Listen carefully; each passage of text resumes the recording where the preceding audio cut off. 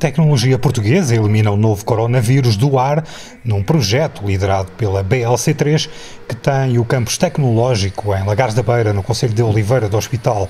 Esta nova tecnologia elimina 99,97% das partículas do vírus SARS-CoV-2 presentes no ar em 5 minutos. Estamos a falar em conceitos de física, radiação UV, e como é que nós conseguimos cruzar estas duas dimensões de conhecimento de base físico para o desenvolvimento de uma tecnologia que consegue fazer inativação em um minuto de 99,97%.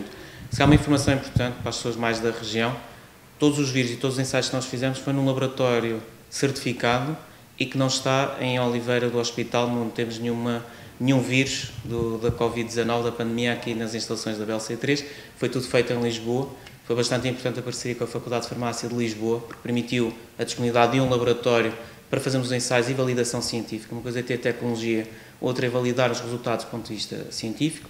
Os resultados foram muito positivos, são muito bons. Já temos contactos já para fazer ensaios de demonstração eh, que tivemos nestes últimos dois dias. O projeto tem como objetivo melhorar a qualidade do ar em espaços fechados. O vírus e as pandemias têm vários focos de atuação e de implicações. Por contacto, mas e o contacto é, consegue-se evitar, as pessoas podem lavar as mãos, podem evitar o contacto. Há a questão radiativa, que nós chamamos de transmissão radiativa, é quando nós estamos de facto a projetar gotículas, aí as máscaras funcionam e ajudam, mas depois temos a outra parte, nós chamamos a parte convectiva natural ou forçada, que tem a ver com a transmissão pelo ar. É aí que é mais problemático, porque a parte ocular também é um ponto fraco que nós temos e por onde pode haver entrada de partículas de vírus pelos microvasos sanguíneos. Ou seja, então nós temos que melhorar a qualidade do ar interior em espaços que estão confinados ou em sistemas de transporte. É aqui que está a preocupação da tecnologia. Nós temos como alvo, primeiro, começar na proteção dos profissionais de saúde, hospitais, centros de saúde.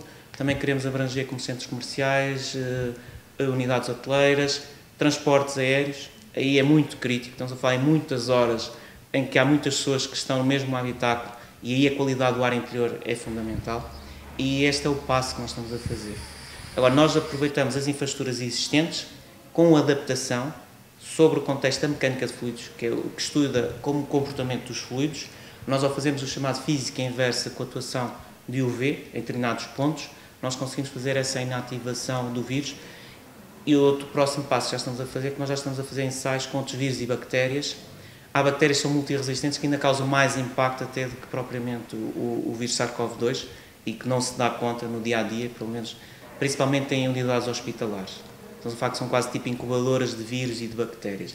Isso deve-se ter muito cuidado e atenção. É aí que está um dos nossos principais focos e ajudar muito a proteger os profissionais de saúde no seu dia a dia, porque estão muito em contato com pessoas potencialmente transmissoras de vírus e bactérias. O projeto inovador da BLC3 permite inativar mais de 99% das partículas do novo coronavírus no ar.